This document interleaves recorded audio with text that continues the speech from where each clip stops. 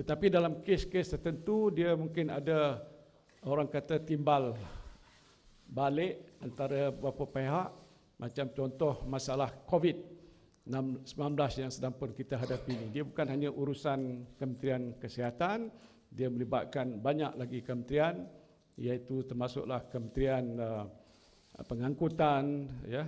Dia tidak dalam satu kluster uh, Kementerian pertanian dari sisi pengeluaran bahan-bahan makanan itu ahli yang saya minta dijemput dan pelbagai-bagai lagi. Jadi oleh sebab itu banyak perkara kita bincangkan pada hari ininya semuanya ada kaitan tentang langkah-langkah untuk kita berikan tumpuan pada isu-isu pokok yang sedang pun dihadapi oleh rakyat jelata. Uh, juga kita memberi perhatian berat kepada isu COVID-19 Sebentar lagi saya akan lancarkan tabung COVID-19.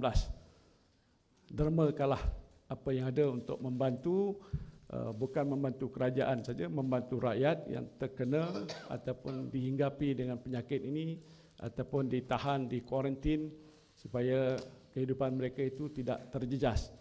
Dan kita sedikit sebanyak akan memberikan bentuk bantuan keuangan ya kepada mereka-mereka yang tidak mempunyai pekerjaan terganggu kerana mereka ini mungkin terpaksa di kuarantin uh, untuk uh, merawat supaya mereka ini pulih.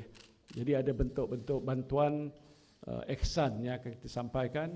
Kerajaan bersetuju di peringkat awal ni sejuta ringgit dan kalau kita dapat kumpul dana daripada rakyat jelata, apa saja yang kita kumpul ni akan kita kembalikan kepada mereka-mereka yang berhak.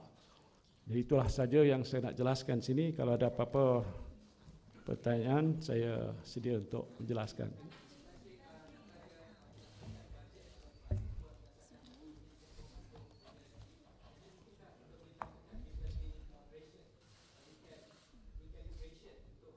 Ya ini Menteri Keuangan telah pun diarah untuk meneliti dan mesyuarat EAC yang kita akan adakan minggu depan maka ada perkara ini akan dibentangkan untuk melihat apakah uh, situasi uh, keuangan negara yang pastinya sudah terjejas, makin terjejas. Jadi sama ada nak calibrate, recalibrate, ini saya akan menunggu laporan daripada Menteri Keuangan.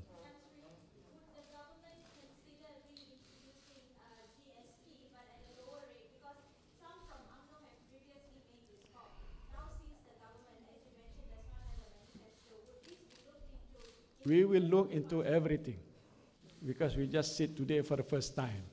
And I think it is only fair that we look into those issues closely, whether there is any necessity to review or whatever it is at the Menteri Keuangan, and all those people involved in that uh, particular area will make proper recommendation